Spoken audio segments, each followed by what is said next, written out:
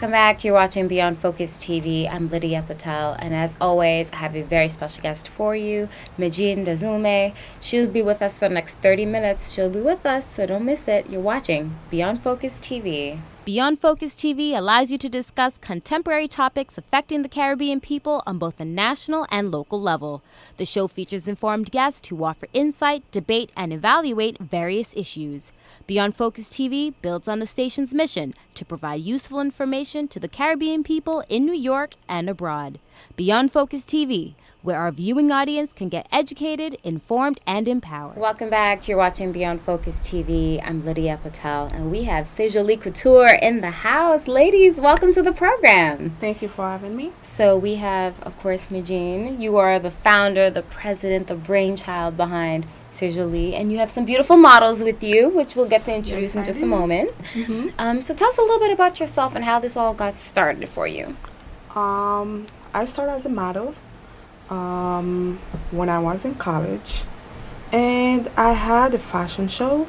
Then after I did my first modeling, then I was like, hmm, I think I'm gonna keep doing this. Mm-hmm. Then during my modeling career, and that's when I thinking about I can come with my own design.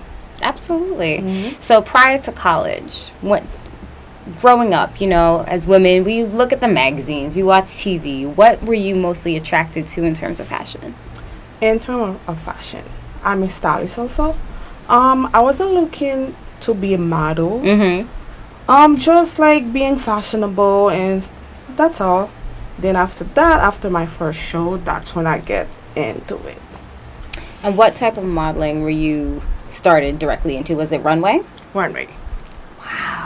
So tell us about that experience. How was that for you? it was fun it was fun it was in my school all the students my classmates were Mhm. exciting seeing the show Mhm. yeah it was fun Is there anything about the fashion industry that you got to learn about that you didn't necessarily expect going in there for someone who's not from the business? hmm And it's not until you're actually doing it that you realize, oh, I, n- I never expected it to be like this. For example, um, when you go into a casting call, you don't have to wear a lot of makeup, just a little bit, and make sure you wear black, all black, and black pumps. I learned a lot about the fashion Mhm. industry when I get in it. Yeah. Absolutely. And then fast forward, you know, you started doing your own show, and now you Mhm. have your own designs that you get to showcase here. So, ladies, I'm going to start right over here. I'll start with you. Why don't you introduce yourself? Hi, my name is Melissa Gale. Melissa Gale. So tell us about you, Melissa. You know, you're modeling here for Medjine. You're a part of C'est Jolie Couture. How do you feel um, getting the opportunity as a young lady to be a part of this? Honestly, it's it's it's a breath of fresh air because growing up I was really shy. So my Mhm. mom kind of threw me into modeling, hoping that it would like you know take me out of my shell, and it, it did. And meeting Miss Medjine was the best thing that could ever happen to me. Oh, that's that's amazing. And and Miss Flowers, why don't you tell us about yourself? Introduce yourself. Hi, my name is Shanice Baptiste Peters. I'm 14 years old, currently going into high school, and I've been modeling for about four years now. Absolutely, that's great, and I love the confidence and how you speak, and you, you seem excited about this. So this is great. And and last but not least, why don't you introduce yourself? Hi, my name is Tina Chanel. I'm 25 and I've been modeling seriously now for like two years. Okay, so it's really nice to see a good mix you've got from the younger girls through 25. They're all doing great things. And to hear good comments that when they could say that one of the best things that happened to them is meeting you, how does that make you feel? It make me feel good because in the fashion industry, it can be very tough Mm-hmm. for those young ladies. So I understand what can be happening. So this is the reason why I'm trying to make it easy for them. So show them something different. Absolutely. Now, the modeling industry has changed so much, and it's still depending. If you're looking at fashion, Mm-hmm. still very Eurocentric, but you've kind of carved out your own little space Yes. where minority women, different body sizes, different shapes, because we are not negative zero. Mm-hmm. And I, I've done Couture Fashion Week a long time ago, and I remember being told by a designer that I was stretching out his dress. Wow. And it's such a hurtful yes, it is. thing when you're standing amongst these girls who are they don't understand our bodies are shaped differently. Mm-hmm. We are wider. Our hips are is just a genetic. It's just something we can't even help that. Yeah, that can be hurtful. It can be, and it's something that, depending on how you, ch- I channeled it in a positive way because I wasn't gonna let this person's comments You have to stop have me. thick, st- thick skin to be in the fashion industry. You just channel that and be yeah, like, you know what? wash it off and keep it moving. It may not. I may not be the right look for you. And somebody, who, another else. designer will like you. Absolutely. So Mm-hmm. now you created a space where you can now employ and embrace other women. Absolutely. So what would you say is the mission behind one of the core values behind C'est Jolie Couture? Behind C'est Jolie Couture, I want to make um, the ladies feel good about themselves when they're wearing my design. Confident. They have to have confidence, absolutely. And yeah, make them feel good, basically, when they have my design on. So what about inspiration? Of course, you know, that's one of the biggest things is, Mhm. you know, things change and come and go, but what really inspires Medjine? As of right now, I do not have any inspiration. My inspiration is me because I wake up every day. I have to push myself too. I'm just inspired by myself, to be Mhm. honest. And that's fair. That's a great statement, you know.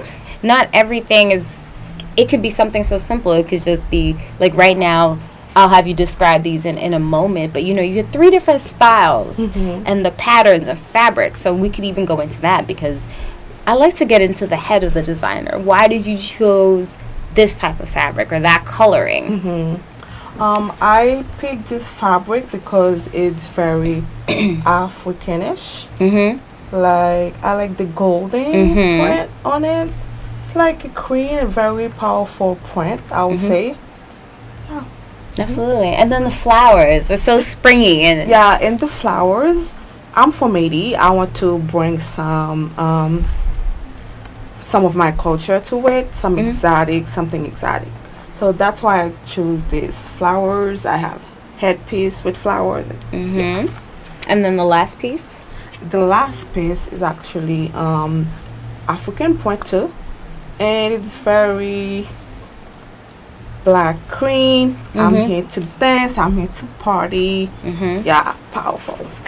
That's it. Mhm. We we love the powerful designs. Mhm. And that's always important, you know, to definitely make sure it's something that represents that makes you guys feel confident.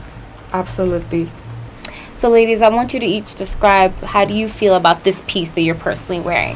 What do you love about it? Um, I love this part.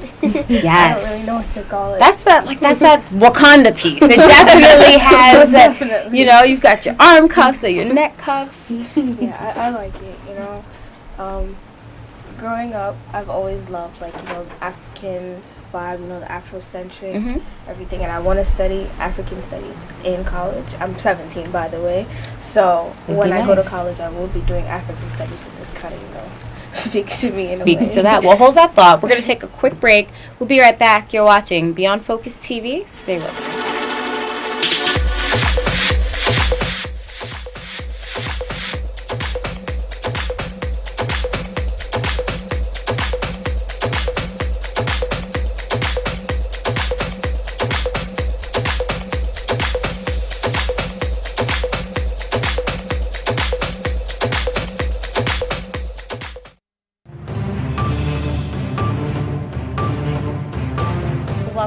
You're watching Beyond Focus TV. I'm Lydia Patel.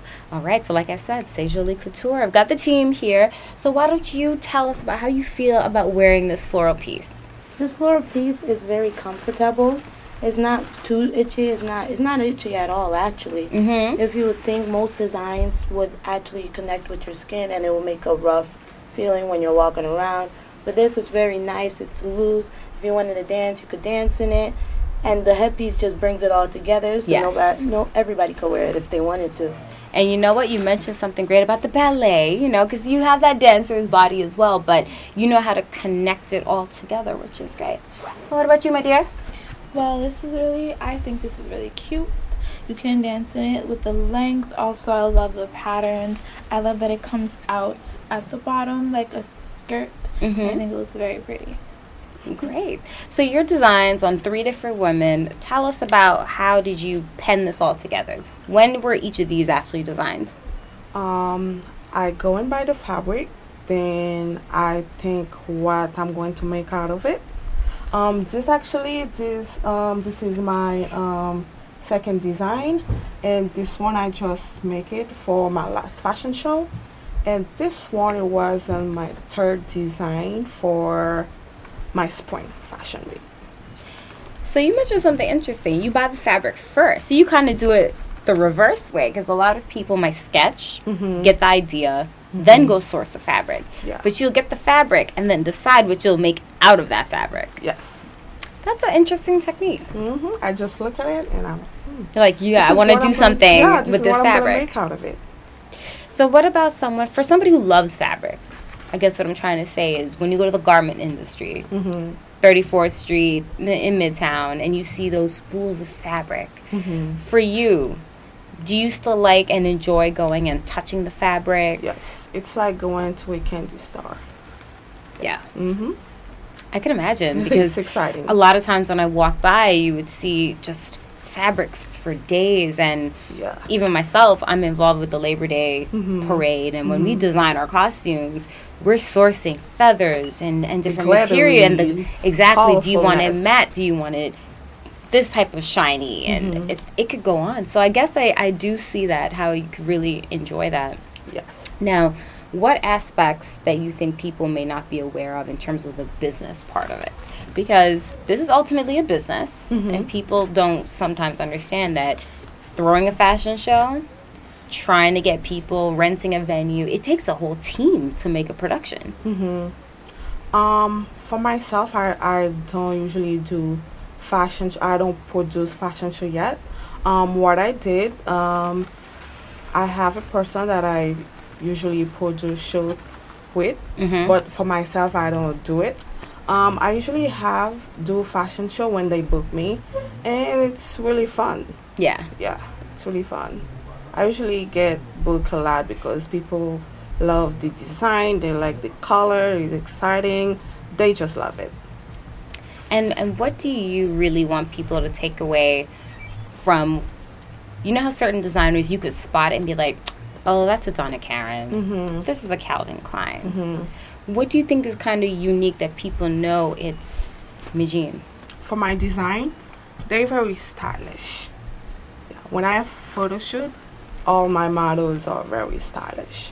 When they are on the runway, they already know that's my design because the models can be They very bring it. stylish. Yes.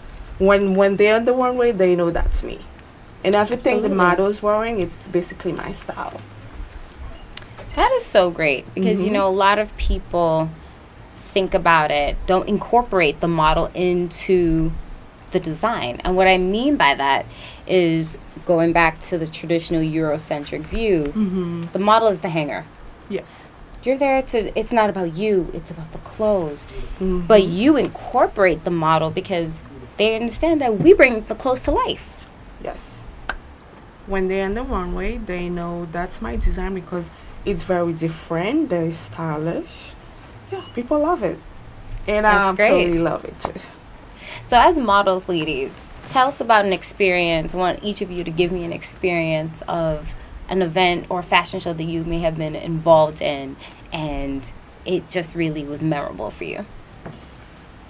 Who wants to start? Start on this end. Okay. Um, well, a fashion show that I've done was recently is very memorable for me because everything just went well together. The down to the holes, down to the designers, down to the models, and it was beautiful. Everything just came together well. Everyone was really nice. They worked together, and once I'm not nervous to be on the runway anymore. When I Mhm. first first started, I was very very nervous, but now when I do runway, I love it. I feel very excited. I feel free, especially being, you know, not tall and mm-hmm. I'm not skinny. Especially when- when I do walk out on the runway, people embrace me just for the size that I am. Mm-hmm. Absolutely. And what about yourself? You My- seem like you like to be on stage. She is. My most memorable fashion show was when I went to the Virgin Islands with one of my modeling agencies to do a show that was being broadcasted there. And everything was just so organized and everything was beautiful. The set was beautiful. The models were nice. Like if I had something wrong, they would ask if I needed help and I would mm-hmm. help them. And even another thing that made it so memorable because everybody felt like a family there. And even my agency, we all like live as a family and we talk to each other and make sure everybody's okay. But when we were there, I remember practicing and all of a sudden, like models would walk up to me and be like, "Would you like to wear one of my pieces?" Even though I was supposed to be in one designer, it was just like it wasn't you were set on one thing. Mhm. You had opportunities anywhere you went. So that And was that's great. my most memorable one. Absolutely. What about you? Um, my most memorable fashion show would have to be um, the one last March that I was in. Medjine was also there. I don't know if you remember. Yeah, I But remember. oh, you remember? Okay. Mhm. Um, we started off doing preparation beforehand, of course, and the way everybody just fit together like a puzzle piece was just amazing. Everybody had great energy. They just, like you mm-hmm. said before, we were we felt like a family, and everybody interacted so well, and.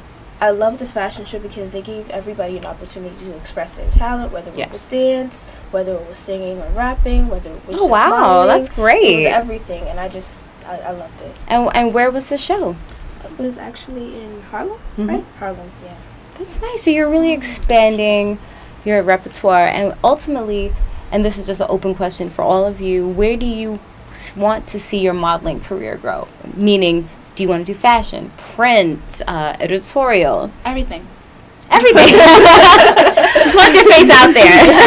Everything. And what about you? Same. Um, I more so want to be. One of my biggest goals is to become a Victoria's Secret model when I'm older. to um, see myself on like maybe one of the Manhattan billboards, and that's really just print and runway. Print or runway. And for you? Um, for me, I just want to inspire little girls. I love to it. Let them know that if you want to do uh, modeling, you can do it. It's possible. So that's my. Great. We'll take a quick be break. brave and be careful. Be brave and be careful. And on that note, we'll take a quick break. We'll be right back. You're watching Beyond Focus TV. Stay with us.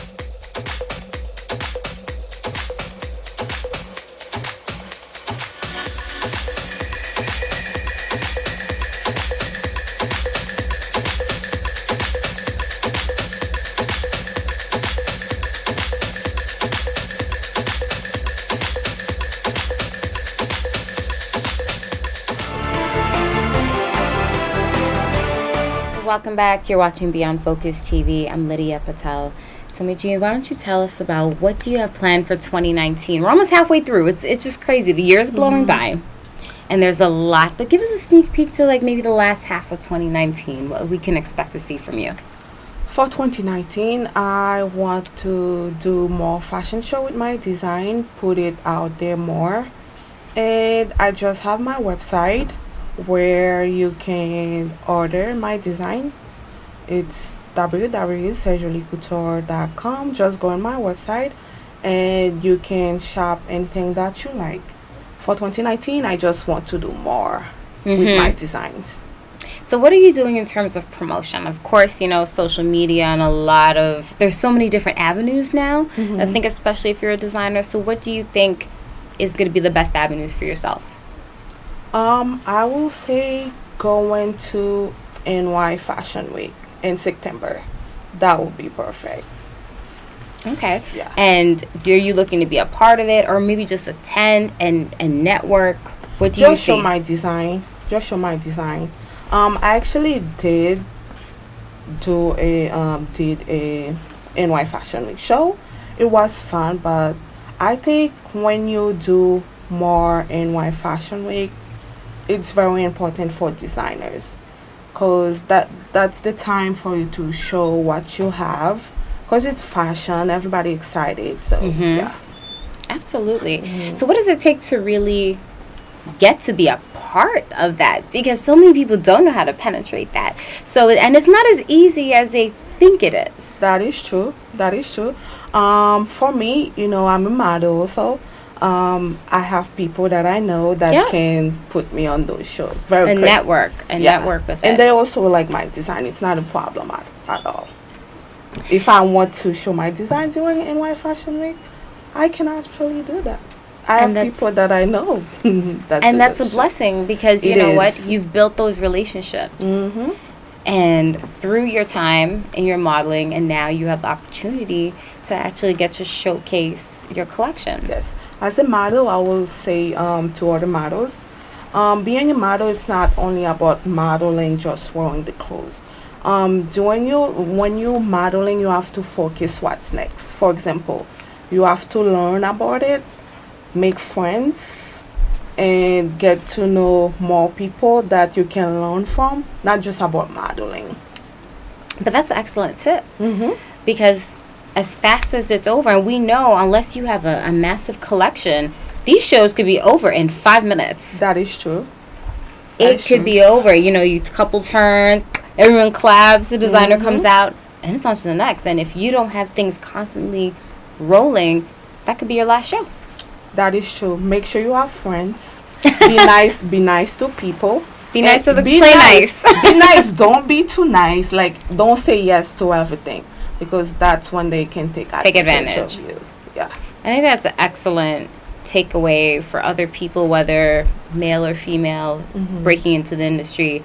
Yes, you want to be nice, you want to be ready, willing, and able Mhm. to, to be available, but just know when there are key signs of being taken advantage of. Absolutely. Don't be a yes person all the time.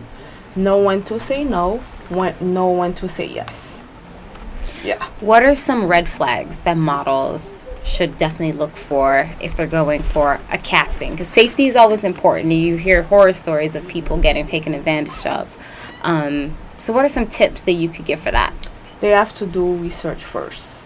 Make sure you know um, where you're going, and make sure that you know some background about that person that going to shoot you before you go to that photo shoot. Yeah, it can be very scary. Yes. Yeah, make sure you do your research first.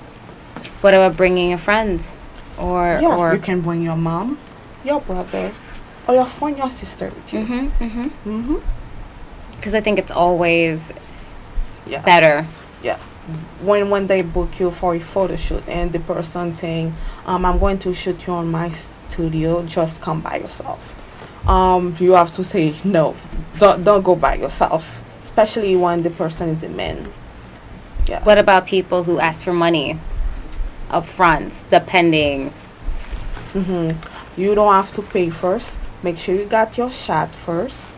Then after that after they finish shoot you look look on the camera check the pictures and see and everything then make a deal with them. And then if you want to pay now you can pay. If you want to pay later you, you pay. Just get comfortable with it make them understand what it's gonna be Absolutely. Mhm. That's great. make them like for example make them trust you a little bit for example if you tell them that um, i cannot pay now i need to see the picture first but i need you to trust me that you gonna get paid you can also do that mm-hmm. yeah you just have to decide what to do because i heard a lot of story about models that they took the money they never get it back Exactly. They never Yeah. get the prints. It's not what they mm-hmm. wanted. yeah Definitely. especially when you first start And what would you say now that you mentioned starter? What would be the starter pack that every model trying to get their footprint into the industry? this starting they have to starting with a modeling agency first that's that's the person that going to book you for shows and to that they're gonna book you for a show what to do next and what this, what person to work with what person to trust yeah they have to start with an agency first That's a that's a Mhm. great tip. because if you don't start with an agency, that can be it can be very confusing for the models. Like, what should I do next? Should I do that with them or that? Because you don't know those person, and they can be very mean when you first started, or they're not nice when you first started. When you go to a show, they gonna give you that look like, "Who are you?" Like you already know what they are saying. Yeah. Mhm. I agree. Mhm. And let us know how do we reach you on your social media, your Instagram, and see some of your designs. Yes, you can follow me on Instagram, um, Themodel28, T H E M O D E L 28, and C'est Jolie Couture um, at C'est Jolie Couture, C E S T J O L I Couture, C O U T U R E.